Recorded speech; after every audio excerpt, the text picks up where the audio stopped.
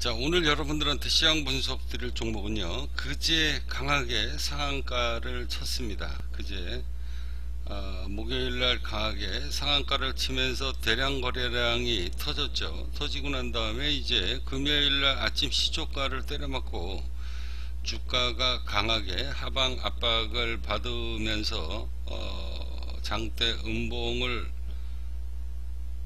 치고 어, 종가가 형성이 되면서 이제 마감이 됐는데요.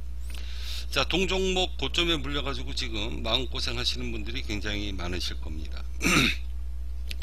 동종목은 뭐 동전주라고 불리는 거죠. 뭐 천 원 정도밖에 되지 않는 종목인데 PSMC 자, 이 종목 고점에 물려가지고 지금 마음고생을 굉장히 많이 하시는 분들은 저희 카페에 어, 찾아오셔서 어, 정밀 시황 분석을 의뢰를 하시면 제가 알고 있는 모든 금융 지식을 총망라해서 이 종목을 홀딩을 하면 그나마 원금 보존을 하고 수익까지 낼 수 있는지 아니면 지금이라도 손절을 빨리 쳐야 되는 건지 이런 정확한 시황 분석을 어 제가 내드릴 수 있습니다.